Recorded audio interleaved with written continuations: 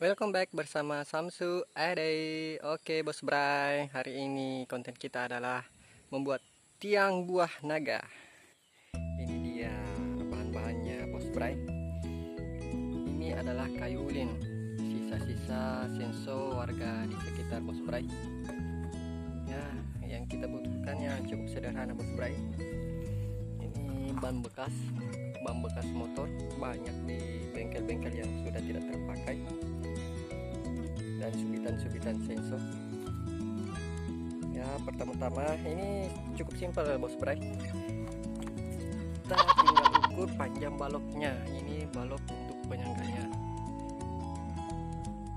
Ya oke. Ini disesuaikan dengan diameternya ban bekas kita bos bray. Yuk kita potong dulu ya bos bray. Oke baloknya udah terpotong bos bray panjang baloknya wajib kita sepanjangkan dengan diameter ban bekas kita bos bray saya memakai chainsaw biar cepat bisa pakai gergaji pun juga boleh. Kemudian baloknya kita pasang di tiang utamanya bos bray berbentuk T. Ya kita beri jarak sekitar 4 jari bos bray. Ini fungsinya untuk memberikan space kepada buah naga untuk bisa lebih tinggi ke atas lagi. Tinggi lima jari. Ya boleh juga. Ya setelah itu kita tandai bos bray. Kita beri sentuh bukan untuk baloknya masuk ke dalam yang utama. Lanjut. Kita chainsaw dulu ya bray. Oke bos bray. Yang utamanya udah saya cek bos bray. Lanjut kita Buat lubangnya bos bray.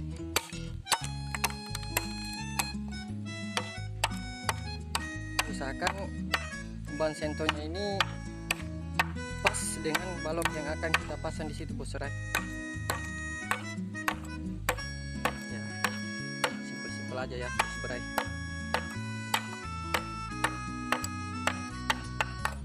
Oke, kita pasang ya bos bray.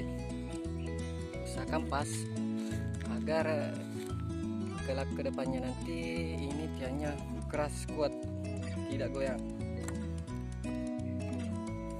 Oke, lanjut tinggal kita pakai bos bray kedua sisinya.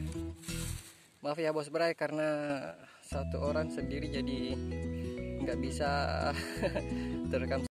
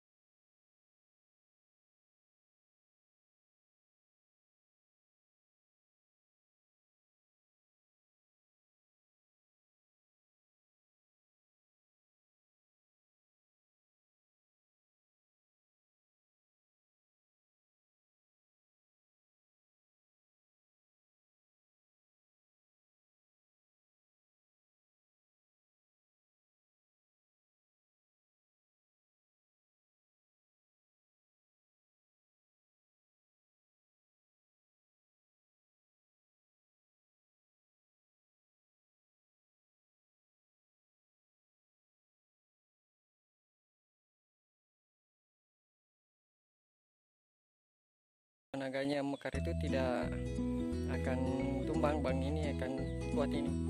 Jika kita ikat di sini ikat pakai kawat. Tanam bos bray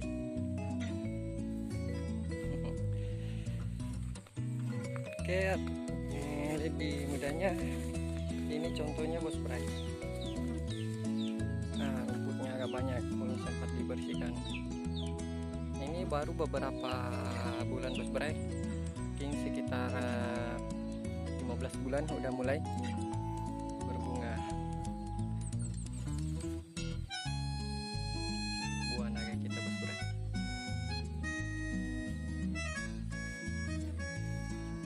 Yup. Oke, sekian dulu bos berai video kali ini ditemani dengan beberapa ekor dugi-dugi. like, subscribe ya Bos Bray. Oke, thank you Bos Bray. Assalamualaikum.